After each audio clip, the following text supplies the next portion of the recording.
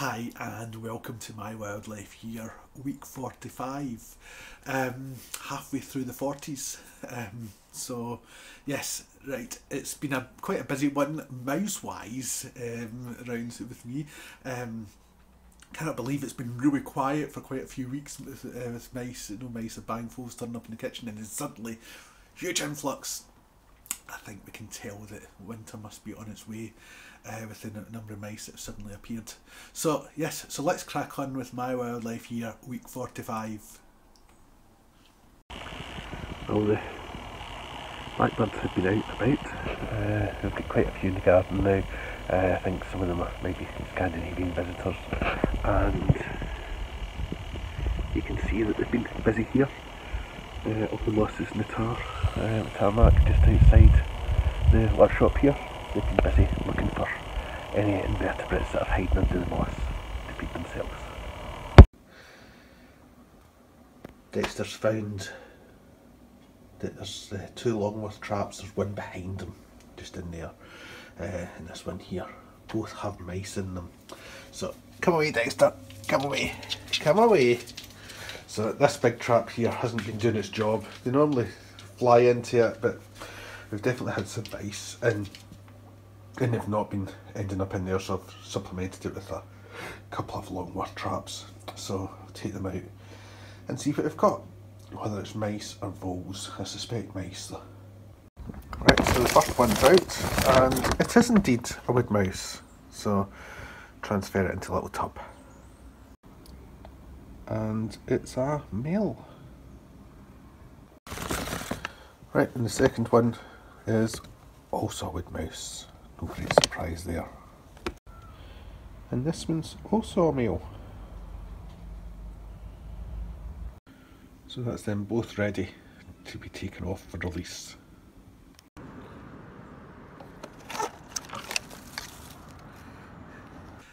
Now, this is a little video that was caught, caught in the back garden and most people if they saw this might actually be a bit worried but I'm not the reason why I'll explain before I show you what it is because I shoot a lot of video in the back garden I've got a Wi-Fi, camera just outside my workshop here.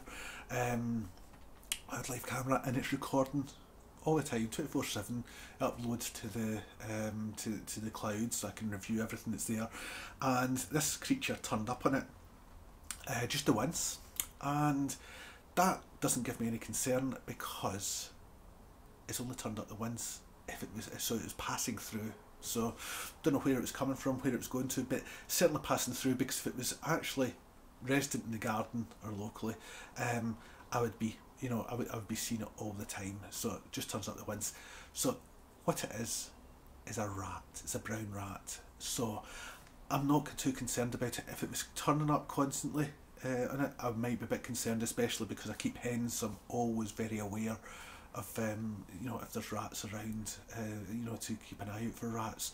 But just seeing the once, I'm not too worried because, uh, as I say, this is sort of like, you know, I've got weeks and weeks and weeks I've been watching uh, this, this, and this is the only time I've had a brown rat turn up on my security cam, my wildlife uh, security camera.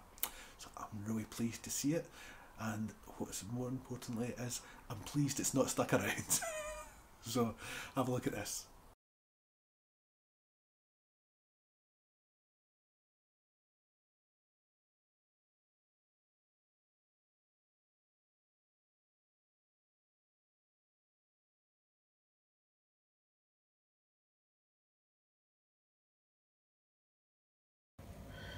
Right, got two yesterday morning and looks like we've got two in the traps this morning as well and Dexter's in his way because yep here he comes just to check.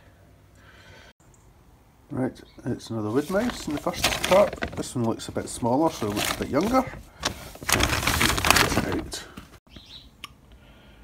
This one's a female this time. So we had two males yesterday so First one here is a female, see if the next one's male or female. Surprisingly, fourth one in two days is uh, a wood mouse. Winter seems to be the time that wood mice like to come in the house and bank voles like to come in during the summer. I don't know why. Uh, I mean, I might get a bank vole in winter, I might get a mouse in summer, but I'm more likely to get wood mice in winter and bank vole in summer. So this one's looking quite pointed at the rear, so it might be a male. So, but I'll take him out and see. It is indeed a male. So uh, that's three males and one female over the past two days. So I've got the female on the top and the male on the bottom, I think it is. So take them out and release them.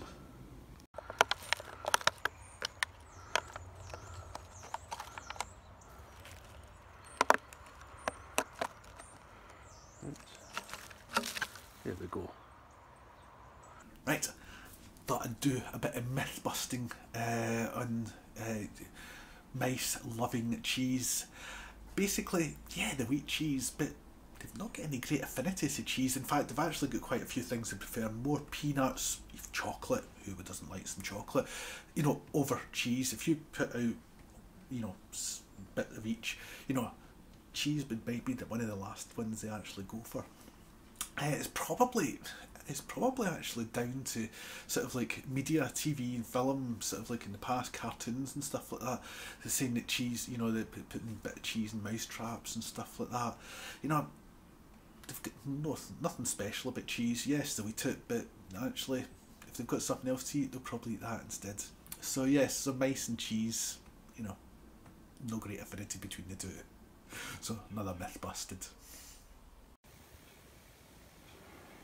Wood pigeons just landed on the bird table. Let's try to work out how to think get down onto it.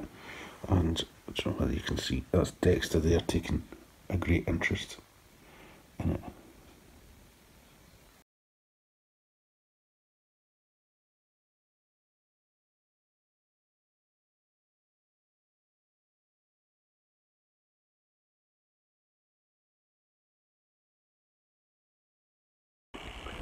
Right, well this is the fifth one in three days in the trap, so we'll see what it is. I will suspect it might be a wood mouse. What a surprise, it is indeed a wood mouse. And it's a female, and she's not happy at all, so pop her a up.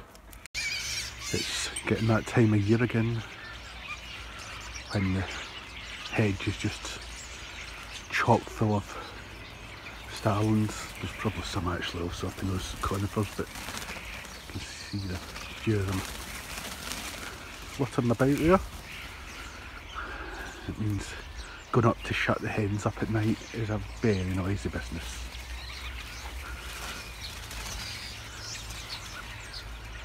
I wouldn't like to guess how many's in there, but certainly be hundreds, if not actually four figures. Look at the entire hedge because I mean I can hear see them up there and I can hear them right down the bottom there and there's usually some up in these trees. Here's a, uh, a mealworm beetle just exiting its pupae so I'll transfer it up to here with all the other adults. So my wildlife year week 45 over and done with. Uh, so hope you find that a good one and I'll see you soon for my wildlife year week 46 uh, take care stay safe and enjoy the wildlife